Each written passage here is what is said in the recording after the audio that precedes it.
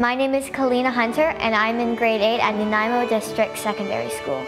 I enjoy playing my violin and fiddle, and playing the piano, painting, and reading, and taekwondo.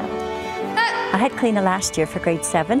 She's um, a very reflective, uh, considerate, and talented individual.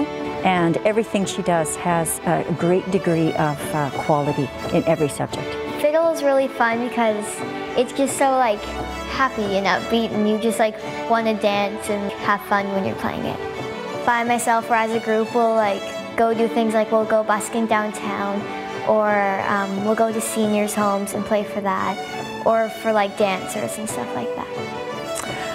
Kalina. Kalina is a, a very high energy, very self-motivated, creative kid who's old beyond her years, but only in the sense of responsibility and being able to set goals and meet them without me having to chase her down to do the work. She's tons of fun to teach.